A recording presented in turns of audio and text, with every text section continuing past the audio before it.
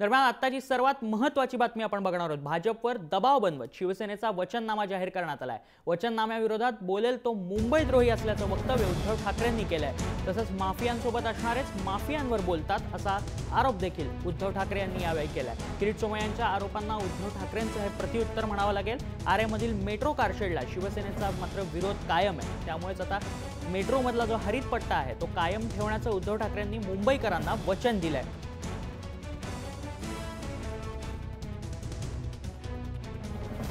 ज्याला आपण म्हणतो ना खणखणीत कारभार तो खणखणीत म्हणजे रस्ता खडून मोकळं व्हायचं. तर त्या कारभाराला सुद्धा चाप लावण्याची गरज आहे.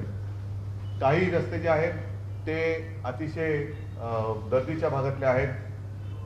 ज्याला गल्ली बोळं म्हणतो असे आहेत.